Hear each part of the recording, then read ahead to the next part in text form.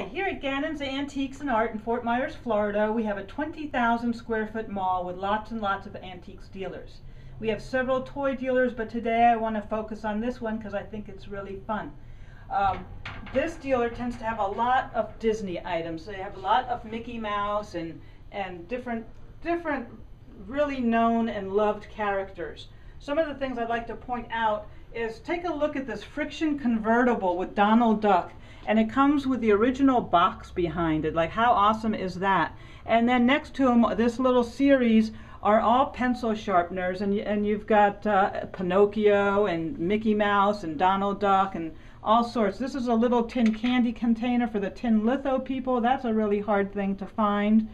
And then we have things that aren't Mickey, you know, and Minnie and, and all that. We've got Pinocchio here. We have this bank, which is really neat. It's a rocket bank. And then down below here, here's a tin litho lunch wagon. It works. That's awesome. We've got the Mickey band there, the little musicians, wall pocket, cookie jar that's in the form of a bus. All sorts of neat items that are um, that would fall kind of under the toy collectible area. Uh, if you have antique toys that you're looking to sell, we're always looking to buy and we're always looking for the best and the most unusual.